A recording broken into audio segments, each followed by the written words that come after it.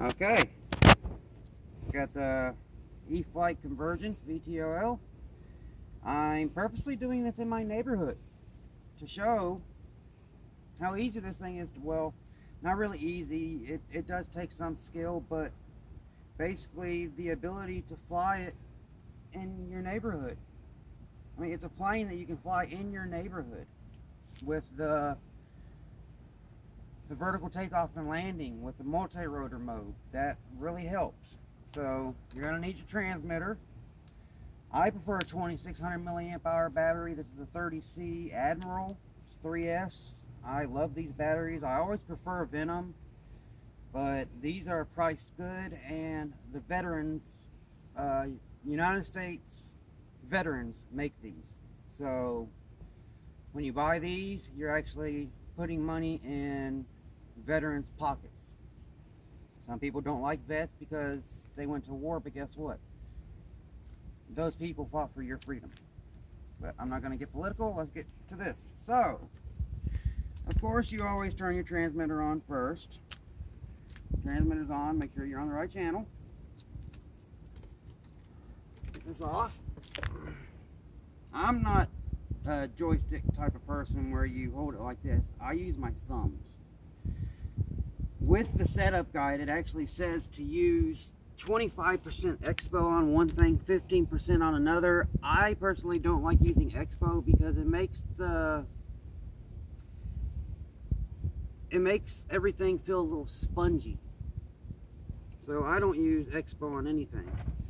Uh, I haven't put the Velcro tape on this yet, but one thing you're really going to want to do is put some Velcro inside where the battery goes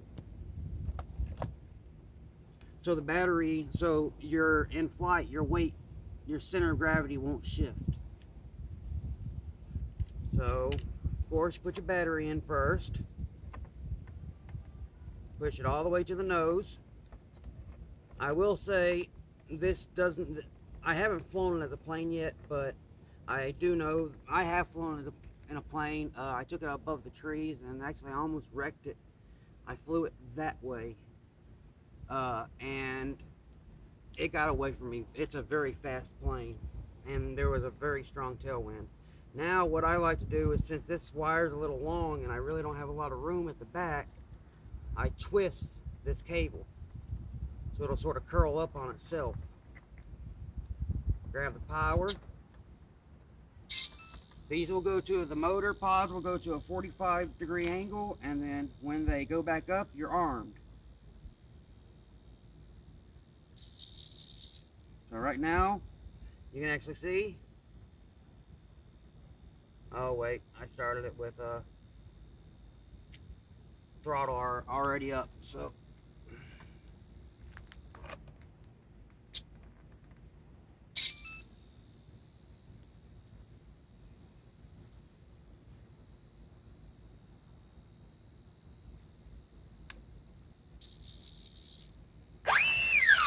So you have to if there's any power, any sort of uh, control going to it when you turn it on, it won't even uh, throttle up, well spool up because uh, safety.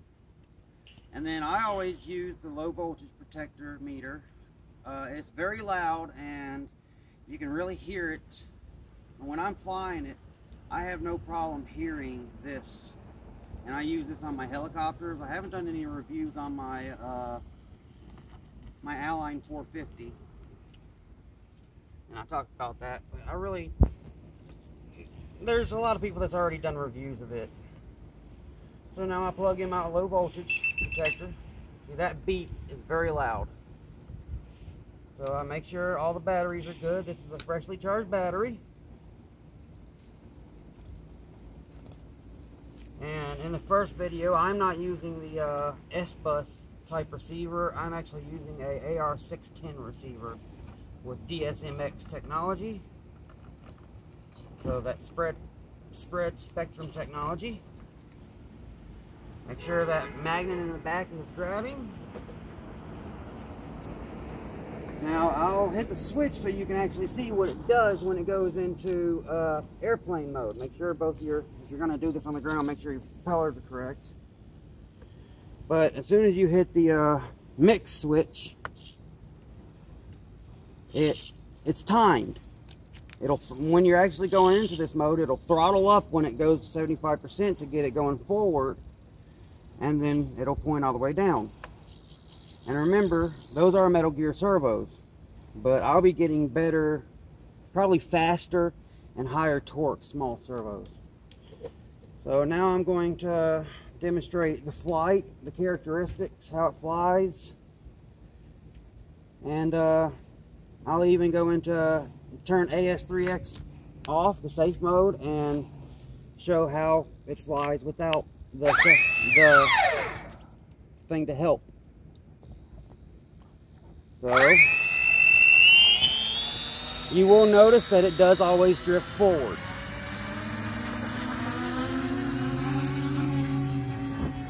Right now I'm pulling back on the aileron stick, which controls uh,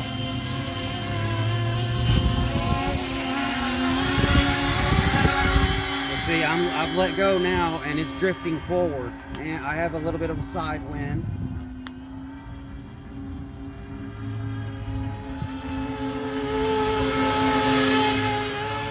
Overall, very easy to fly. The rudder is very responsive. Which it doesn't have rudder, it actually just, right now, the motors just go different directions. Let's see if I can do a quick little speed run just to show how fast it goes. Even in this mode.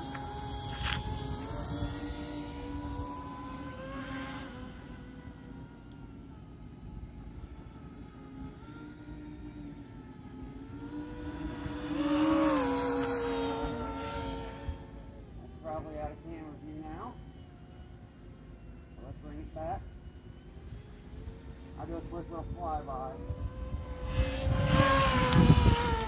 So even in the multi-rotor mode, it does about 25 mile an hour. I haven't clocked it.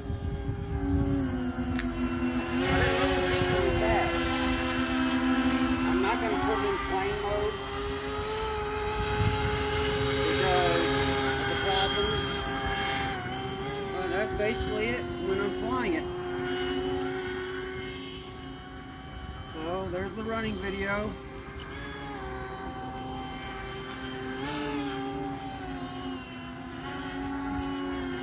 There's some kids that like to come over and the toys that I have.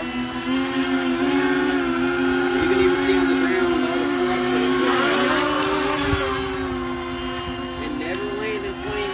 You'll damage the propellers, you'll damage uh, the servo and everything else.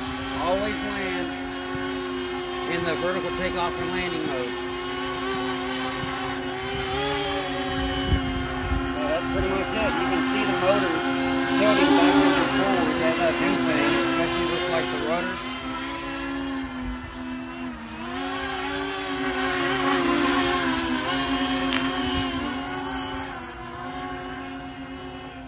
And like right now, I can actually just go backwards. It doesn't really have a lot of backward speed, just enough to slow you down and maybe go backwards a little while, but I mean you can get it from forward and then hit the stick all the way back and I can bring it back now with that same and all that is is uh, changing and I will say this when you pull back on the stick with the propellers more straight up and down, it hovers better. Because when I let go like this, it's going to want to dip a little. So you actually see it dipping down a little. But when I pull back on the stick, oh no, get up. When I pull back on the stick, it actually goes up because the propellers aren't trying to create any forward momentum. They're doing nothing but hovering. Like right now, I'm just bringing it back to myself. And personally, if I can,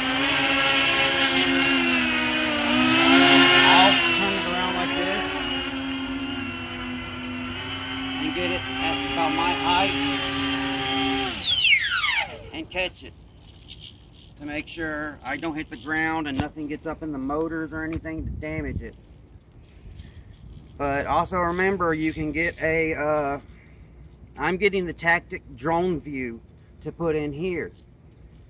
And uh, if you have a uh, receiver with the extra channel, you can actually control that from, you can actually control turning on everything without the Wi-Fi. You can actually use a separate channel. This is a seven channel radio, so I can use my seventh channel to start recording and stop recording. It's only Wi-Fi. I know a lot of people prefer prefer 5.8 gigahertz or 2.4. I think video is usually 5.8 gigahertz. But you also have, since I have better light, you can see right there it says FPV. That's where you can mount your uh, VX, your video transmitter. And then you can have a ground base or you can have some goggles. The Spektrum setup for this is, I believe, $125. And you'll have FPV. And then all you have to do is buy, uh, I'm looking at the Eachine Wizard 220. And once I get the Spektrum set up, all I have to do is buy a camera. And, uh, of course, the uh, video transmitter. But I think the Spektrum, uh, I think the Spektrum camera comes with a uh, transmitter. And I will say, you these gear, these spec, these servos do work a lot. I mean, they're non-stop making noise. That's why I'm going to put some better gears, probably some Savox uh, micro servo servos in it. So I know that they're better servos. They're name brand. They're all Savox really does is make servos. They make some other things, but the only servos I buy and use when I'm buying aftermarket is Savox. I've used one Hitec. It was the Ultra Torque, and it actually completely blacked out on me. I had it on my Baja, just as throttle and uh, throttle and brake. I hit the brake, then I went to give it gas. It it had died. So I stay away from Hitec, and I always go Savox. So that's it for this video. I hope if you like it, give me a thumbs up. And this will not be the last video with this. I will be doing uh, a flight video, putting it in plane mode, but I can't do that here. I'll have to go to, today's Christmas Eve, December 24th. Merry Christmas, everyone.